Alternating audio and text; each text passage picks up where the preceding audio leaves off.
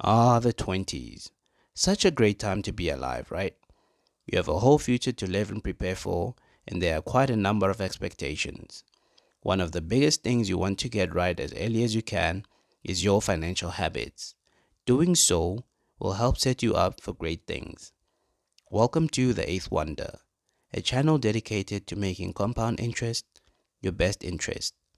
It is very easy to feel like you have all the time in the world to do whatever you please in your 20s and that you can catch up later on in life. I'm here to tell you that the sooner you get into these habits, the better your financial future will be. Starting with number one, saving early and consistently for retirement. Now I get it. Why would you worry about something that's some 40 odd years away, right? The truth is, you don't have control over every aspect of your life and you don't know what life may bring. You also don't have to wait until you're really old for you to retire. If you plan right, you can retire at any age you feel appropriate as long as you are making enough money to be able to do so. The earlier you start saving and investing for retirement, the more time your money will have to grow through compound interest. Even small contributions made consistently over time can make a big difference in the long run. An added benefit of putting money away for retirement is the tax deductions you get. This leads me to number two creating and sticking to a budget. Knowing where your money is going and creating a plan for how you spend it is essential for financial success. A budget can help you identify areas where you can cut back on expenses and redirect that money towards saving and investing. In order for you to have any money to save and invest, you need to be living within your means, and budgeting is a great way of making sure that you are able to do so. When done right, a budget can help you become more disciplined with your money so that you don't YOLO your way into debt. Speaking of debts, number three, pay off any high interest debt as soon as possible. Credit card debt is one of those kinds of debts. It can be a financial burden that can take years to pay off. It's important to prioritize paying off this debt as quickly as possible to avoid accruing large amounts of interest. Learn what the best method for paying down your debt as quickly as possible is and make sure to apply it as aggressively as you can. The longer you spend owing, the more you'll ultimately pay because you'll have compound interest working against you instead of for you. The best thing overall, though, is to avoid bad debt. Far too many people fall into the trap of thinking that they can always pay it back later, only to realize later on that they actually can't afford to make the repayments. Instead of taking up unnecessary debt, what you should be doing is number four, building an emergency fund. An emergency fund is a savings account set aside for unexpected expenses such as medical emergencies or job loss. It is important to have enough money saved up to cover at least 3 to 6 months of living expenses in case of an emergency. Life is unpredictable, so you always want to financially insulate yourself as much as you can so that when things go south, you are prepared. If anything, COVID has definitely highlighted to many of us how important emergency funds are, so start working on building up an emergency fund. And also, number five, Invest in a diversified portfolio. Diversifying your investments across different asset classes such as stocks, bonds, and real estate can help reduce risk and increase the likelihood of achieving your financial goals. I've spoken quite a bit on this topic on previous videos, so you can go watch them and we can call it a day. Just kidding. Do watch them though if you haven't.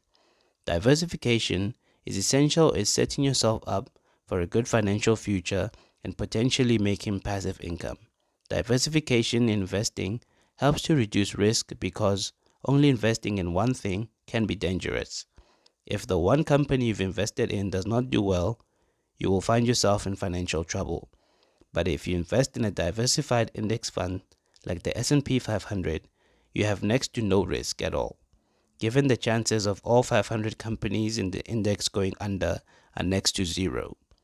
A good way of making sure your investments are well rounded is by number six, continuously educating yourself about personal finance and investing. The world of personal finance and investing can be complex. It's important to continuously educate yourself in order to make informed decisions about your money.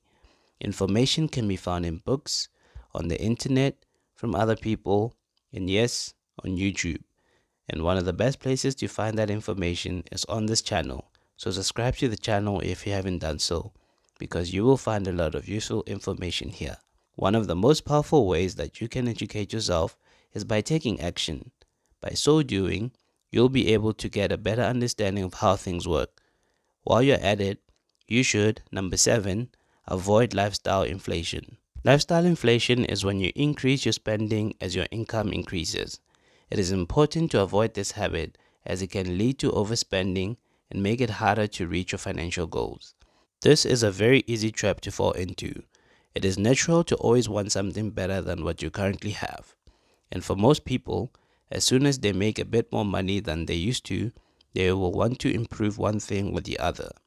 What used to be good enough can all of a sudden feel old and outdated. If you delay gratification and save and invest more every time you earn more, you can not only beat lifestyle inflation, but you can also beat actual inflation. Closely tied to this is number 8, living below your means. Living below your means means spending less than what you earn. This allows you to save money and invest more, which can help you achieve your financial goals faster. This sounds simple, but isn't always. There may be times when you are impulsive and you want to buy things you don't need. A good way to make sure that you are able to do this is by sticking to a budget and identifying things that you normally spend on unnecessarily and start cutting down on those.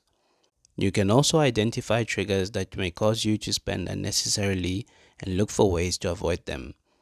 Once you're doing this, you can, number 9, avoid unnecessary financial risks. It is important to be aware of the risks associated with different financial products and investments, and to avoid taking any more risk than you are comfortable with. One of the biggest risks you can take is bad credit. People tend to want to keep up with their peers, which is one of the biggest reasons for taking out credit and getting into debt. The only person you should be competing with is yourself.